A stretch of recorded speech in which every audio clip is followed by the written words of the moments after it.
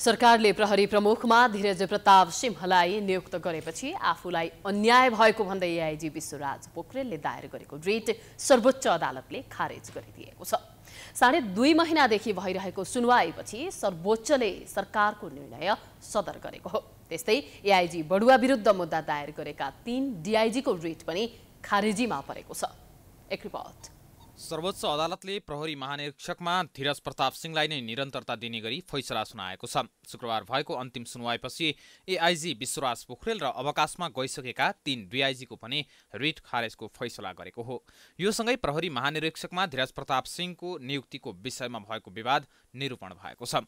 सुनवाईको अन्तिम दिन शुक्रबार रिट निवेदक पोखरेलको तर्फबाट अधिवक्ताहरूले जवाफी बहस गरेका थिए। सुनवाई सकिएपछि सर्वोच्चले यो मुद्दामा फैसला दिएको हो।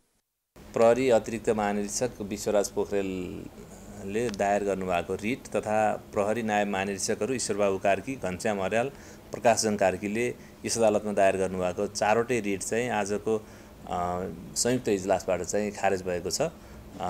संयुक्त इजलासबाट खारेज हुनुको मतलब अब निवेदकहरूको निवेदन मागदाबी अनुसार भएन। नेपाल सरकारले गरेका निर्णयहरू सदर भएको कुरा चाहिँ देखिन्छ।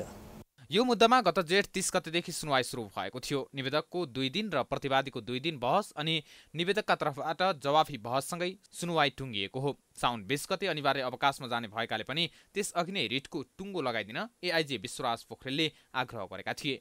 सिंहभन्दा आफू सत्र महिना पहिले एआइजी भएको दावी गर्दै उनले आफू आइजिपी हुनुपर्ने माग गरेका थिए। उनले सुनवाईको पहिलो चरणमा नै अन्तरिम आदेशको माग गरेका थिए। तर न्यायाधीश सुषमलता माथिमाको इजलासले अन्तरिम आदेश दिन अस्वीकार गर्दै निरन्तर सुनवाईमा लैजाने आदेश गरेको थियो। त्यसपछि तीन डिआइजीले दायर गरेको रिट निवेदनमा पनि लगाउमा राख्ने आदेश भएको थियो। त्यसपछि कायम मुकायम प्रधान न्यायाधीश दीपक कुमार कार्की र न्यायाधीश कुमार चुडालको इजलासमा सुनवाई भएको थियो। सर्वोच्चको यो फैसलासँगै एसएसपीदेखि डिआइजीसम्म एक्लै फड्को मारेका पोखरेलको आइजिपी बन्ने सपना पूरा हुन सकेन। त्यसै गरी एआइजी बडुवा विरुद्ध मुद्दा दायर गरेका तीन डिआइजीको रिट पनि खारेजीमा परेको छ। सर्वोच्च अदालतबाट न्याय पाउने आशमा रिट हालेका उनीहरू यसअघि नै अवकाशमा गइसकेका छन्। सर्वोच्च अदालतले उनीहरू पदमा बहाल रहन्जेल मुद्दाको सुनवाई नै नगरेपछि उनीहरूको माग अनुसार एआइजीमा बढुवा हुने सम्भावना सकिएको थियो। डिआइजीहरू घनश्याम अर्याल प्रकाश कार्की र ईश्वर बाबु कार्कीले गत चैत सत्र गते सर्वोच्चमा रिट दायर गरेका थिए। प्रहरीमा बढुवाको विषय सधैँ विवादित बन्ने गर्छ। प्रहरीमा राजनीतिक हस्तक्षेप बढेको भन्दै धेरै वर्षदेखि बहस पनि भइरहेको छ राजनीतिक नेतृत्वले प्रहरी संगठनलाई आफू अनुकूल चलाउन खोजेको भन्दै खबरदारी पनि भइरहेको छ। धेरैजसो विषय अदालतमा प्रवेश गरे पनि अदालतबाट पनि फरक फरक व्याख्या र फैसला हुने गरेको छ। जे होस् संघीय र प्रदेश चुनावको सम्मुख प्रहरी नेतृत्वलाई नचलाउने निर्णय दिएपछि सरकारले पनि राहत महसुस गरेको हुनुपर्छ।